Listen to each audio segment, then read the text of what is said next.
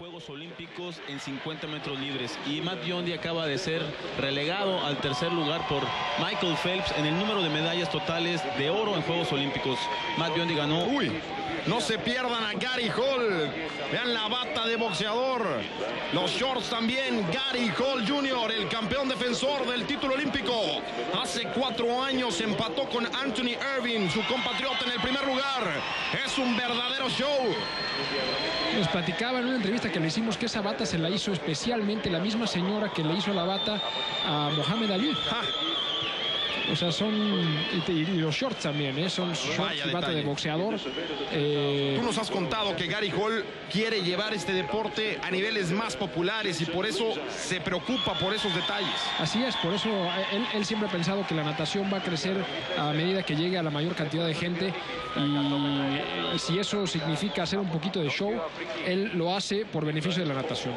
Y este es el cohete sudafricano Roland Marx Kuman, ganador del 4 por 100 para su país.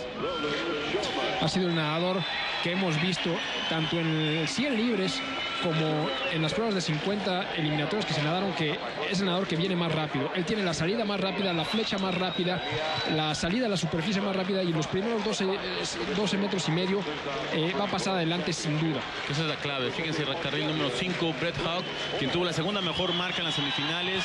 El australiano. Tiene muy buena porra. Ahí están todos los australianos. Ahí vemos a Ian Thorpe, Michael Klim y, todo, el, todo el grupo de nadadores australianos apoyando a Brett Hawk, quien es su finalista para estos 50 metros libres. El récord mundial de Alexander Popov, el ruso, impuesto en el 2021, 6-4. El récord olímpico 21-91, Alex Popov en 1992 en Barcelona. Presente en estos juegos, pero ausente en estas finales. Así es, se quedó fuera. Y comentábamos ya hace rato que eh, hay un entrenador que se llama Mike Borum, que entrena en Estados Unidos en la Universidad del Sur de California, que tiene un muy buen grupo de velocistas. ¿Saben cuántos velocistas tiene este- en esta final? ¿Cuántos? Tres. Gary Hall, Il Salim de Argelia y Dush Dranja, por- que nadará por el carril 8, los tres nadan en el mismo programa. Entonces imagínense el pique que hay en el entrenamiento. Y todos listos porque esto no dura nada. Un arrancón, una descarga. ¿Cómo tendrán el corazón estos hombres en estos momentos? ¿A A quién le van? 130 latidos por minuto. Se crispan los nervios, todos a los bancos de salida. Tensión al máximo.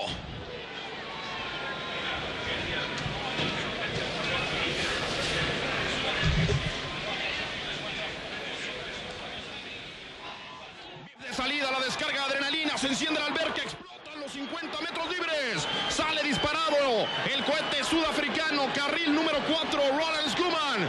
Pero ahí viene Gary Hall, cruza en media alberca, se mete también Jason Lisa